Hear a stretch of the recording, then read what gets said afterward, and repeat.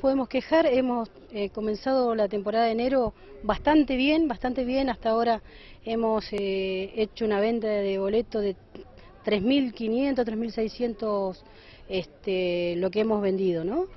Eh, por ahí se nos cortó un poquito esta semana por un inconveniente que, tuvimos, pero bueno, tratamos de, levantar un poco en la fiesta, ¿no? Claro. ¿Y qué tipo de turismo están viendo que está circulando por, por la trochita?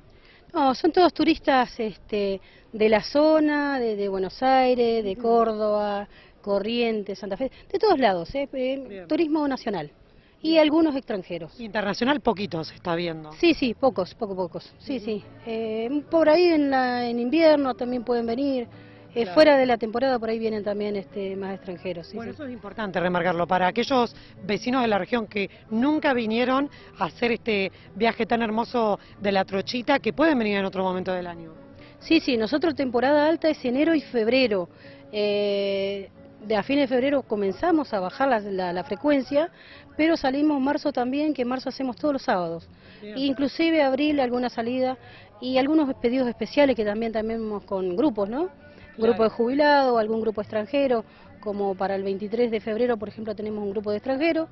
Este, siempre estamos abiertos a, cualquier servicio, ¿no? Para eso estamos. Claro, así que pues se pueden hacer reservas con anticipación de grupos especiales. Sí, sí, sí. Nosotros este, estamos para hacer cualquier servicio, eh, sea en temporada o fuera de temporada, eh, abril, mayo, junio, y julio, bueno, ya es otra, otra la temporada de invierno, pero siempre abierto al turismo y a los grupos que anden, este, quieran venir a, hacer la trochita, estamos siempre este, abiertos. Susana, bueno, reiterar que eh, por la zona se puede transitar con tranquilidad, porque sabemos que el año pasado hubieron algunos inconvenientes en relación con la trochita, si podía seguir circulando o no. Contanos cómo están ahora y, bueno, invitar a la gente que venga.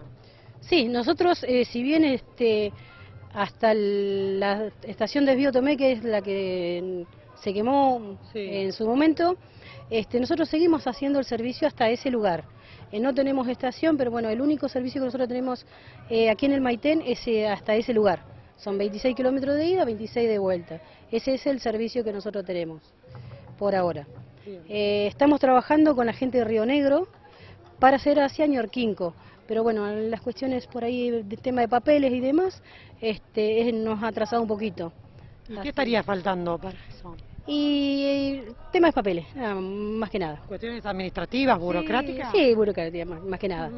Pero esperemos que pronto podamos este, comenzar aunque sea los trabajos en vía, porque son muchos los trabajos que hay que hacerse en vía y después, bueno, ver si podemos circular para aquel sector también. Claro, hay que hacer un mantenimiento de las vías, ¿no? Nos imaginamos que está bastante abandonado. Sí, sí, sí, hace bastante que no se hace un mantenimiento, entonces tenemos que hacer todo el, todo el trayecto de Maitén hasta Ñorquinco, relevamiento de, de, vía, trabajos, limpieza de, de yuyo y demás, eh, además de hacer un triángulo en la localidad de Ñorquinco para que la locomotora eh, pueda girar, este, pero bueno, estamos en tratativas esperábamos este, comenzar en enero los servicios para allá, pero bueno, por una cuestión u otra este, se nos ha ido retrasando. ¿no?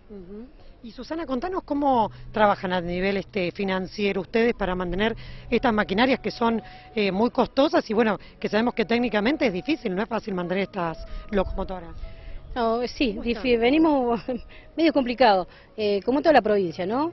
Este, pero por suerte nosotros este, somos empleados de la provincia, eh, la provincia, nosotros hoy dependemos de Corfo, que es la Corporación de Fomento de la provincia, este, pero venimos trabajando eh, gracias a la provincia que nos vienen este, aguantando, digamos, para que la trochita siga funcionando, nosotros este, con lo poco que tenemos este, seguimos laburando, sí, sí.